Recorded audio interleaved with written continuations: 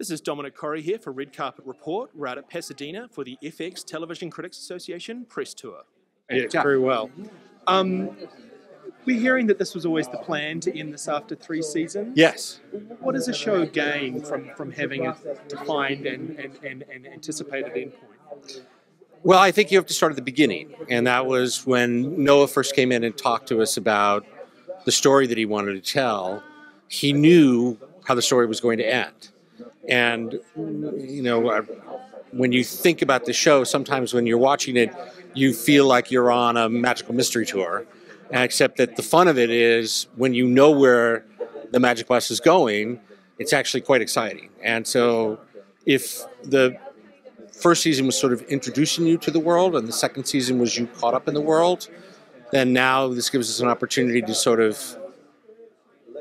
finish the world for this particular time. I, you know, I, I want to always be careful by saying that you know when you're in the Marvel universe, stories go on, um, and all of these characters, some of which are from the X Men universe, and some of which are from the imagination of Noah Hawley. Um, if Noah wants to tell more stories, I, I would think that Marvel and, and, FX would be starting the next day. Um, and so having somebody who is a visionary being able to tell a complete tale is great fun. Um, season three, yeah. are we going to see any Charles Xavier action? Um, I think it's best that I not say anything because of the red laser dot that's on my forehead from my friends at Marvel Security. How do you choose what to pull in and what not to pull in from the mythology? It's such a huge mythology, but this show obviously has its own vibe as well. A lot of that has to do with with what our showrunner, in this case Noah Hawley, wants to tell, and so we work in very close coordination with FX. Noah tells us the story that he wants to tell, and and he's from the beginning has been sort of aware of, you know, we like to sort of say that you, you have a nine lane highway, try not to hit the guardrails. And if you start looking like you're going to hit a guardrail, then we will raise a flag and go, maybe that's. But while you're on the highway, if you want to drive a million miles an hour or pull a U turn or do a donut or drive backwards, go ahead. Have fun. It's just great. I'm just, I'm all about streets today. yeah. um, Legion's been acclaimed for how different and weird it is. Was that always the goal to do something that was unlike any other Marvel adaptation? Uh, well, I think all of our shows are. Um, we try not to make Legion to be similar to Shield, to be similar to Daredevil, to be similar to Runaways. They, you know, they all have their own flavor and voice and network, and so all of those things matter. But really, more than anything else, if you're going to work with Noah Hawley, you want him to be able to bring his own special brand.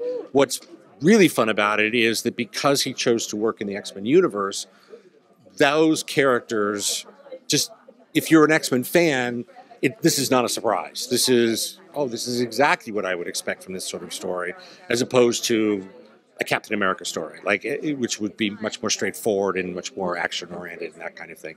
Legion has always been a character that is, at best, psychedelic. Uh, and so I think that's part of what Noah was attracted to was the ability to be able to sort of break down the borders of what is a normal quote comic book genre television show. And how can I tell that story in a way that comic book fans will really love it, but also people that have never ever heard of Legion, but know that on FX there's quality television on every level, artistically, financially, cast wise, all those things. And when you look at the cast, I mean, just starting with Dan, uh, you just go, I, I, I, can't believe this is actually happening. And I also sort of feel like this is the kind of show that if you're not on it now, it's the show that you're going to find a year from now or five years from now. It's this. This will be a show that people talk about for a long time. Has working on Legion uh, opened your mind in terms of what's possible with comic book adaptations? Because it did seem to break some new ground.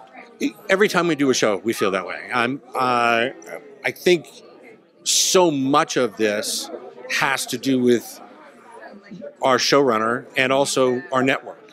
So I, I, I do think that when we do our next show with FX, and I certainly hope that that's soon, is that you know John Landgraf will give us the opportunity to tell a story that is entirely unique, entirely surprising, and nothing like Legion. So we'll wait and see. Fantastic. Thank you so much, Jeph. Thanks so much. Take good care. Thanks for watching. If you liked what you saw, give us the old thumbs up and subscribe to the channel. And uh, put in the comments what your favourite TV show is. We like to hear from you. Uh, this has been Dominic Corry for Red Carpet Report.